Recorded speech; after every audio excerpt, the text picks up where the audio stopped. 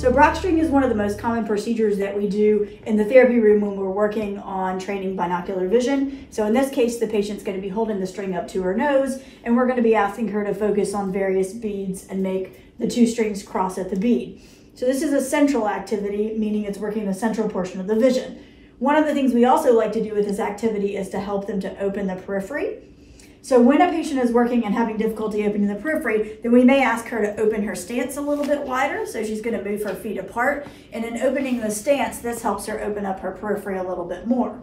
Some of the other things that we may do is we may bring fingers over to the side and we're asking the patient to move the fingers and be aware of them as she's doing it.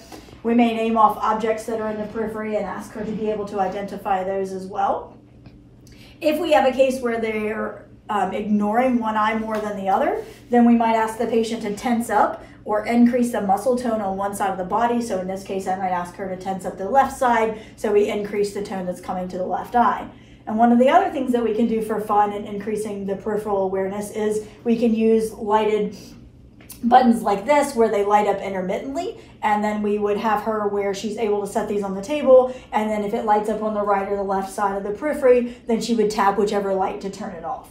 Thank you